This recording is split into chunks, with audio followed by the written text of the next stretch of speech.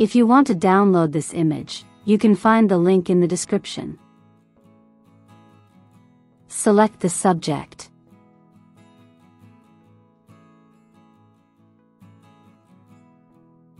Press Ctrl plus J to duplicate the selected area in a new layer. You can now make the background layer invisible. Select the new layer and lower the fill to 0%.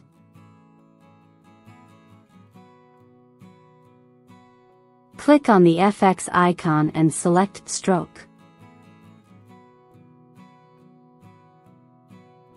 Adjust the size. And pick a stroke color.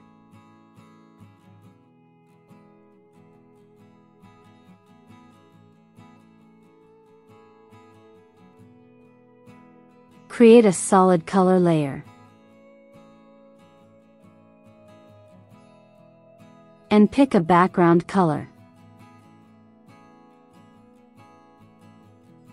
Place the color fill layer below the layer with the stroke. And that's how you convert an image to outlines only.